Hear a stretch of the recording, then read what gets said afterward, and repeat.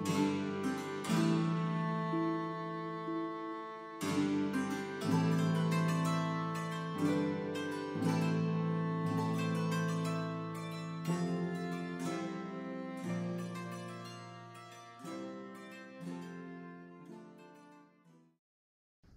hello, my fellow sensitive people.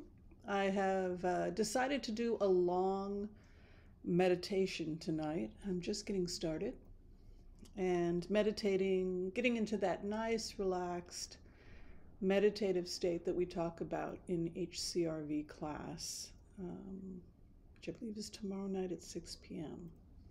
Hope you'll join us. But um, it's very important to get yourself down into that relaxed.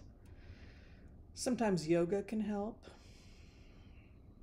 Just center yourself and meditate in a loving way on the thing you're trying to connect with. That would be my guidance to anybody who is um, wanting to be a professional empath. And it will make you a better human being, as I believe it has made me a better human being.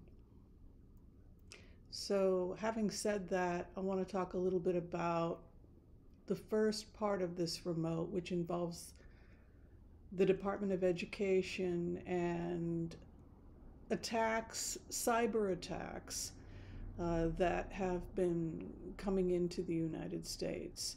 Uh, when you go into this energy of the American defense, we'll just call it America's defense systems I feel like I'm in shock. And it feels to me like when you are under attack from something evil or something horrible that or something that feels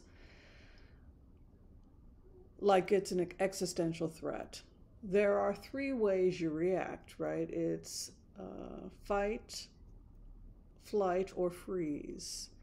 And when you go into the energy of our intelligence agencies, it's like this cloud of hypnosis came over our agencies all at once.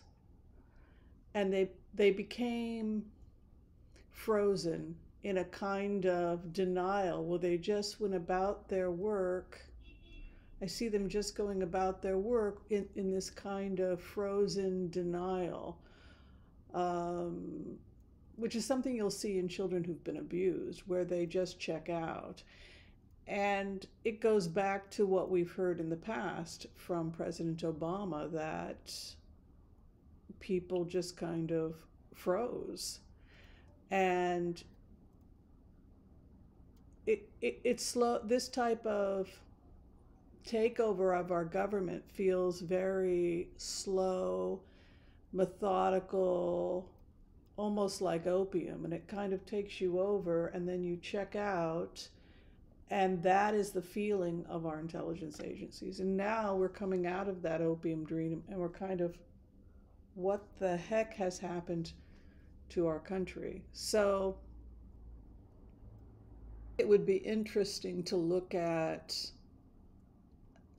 you know it's interesting it's like tinker tailor spy but it's in, it would be interesting to look at what what was going on uh, during the time of Carter, as that's when the businessmen really start to take hold, and it would also be interesting to see how their international relationships are somehow linked to how this all connects because it feels to me like this was a very slow thing that went over a long period of time. And if we perhaps look back to the time of relationship between, say, um, Russia and Carter, we may be able to understand uh, Russia and, of course, or I mean, uh, Carter and, of course, taxation of the rich. We're, we're, aware of that. But um, how this all comes together and how it, it seems to start with Carter. I think that you know, uh, forcing him out and leading to the Reaganomics and the privatization, and then intermingling with Russian mafia and focusing so much on capitalism in ways that were really, uh, you know, uh, that really come about during the time of Reagan. That's when we really see this kind of fanatical obsession uh, Americans are having with uh, money above all else.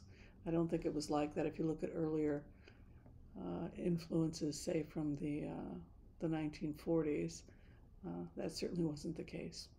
All right, thank you everybody for uh, watching this quick remote. Be sure to share, like, subscribe, and we'll see you next time.